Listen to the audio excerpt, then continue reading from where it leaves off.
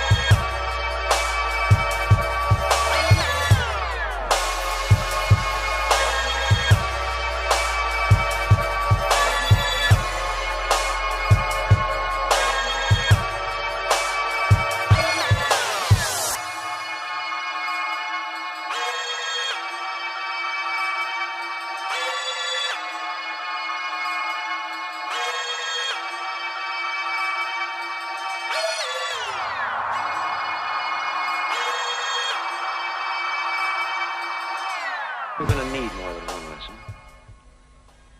You're going to get more than one lesson. Don't worry about me, Geddes. Don't worry about me!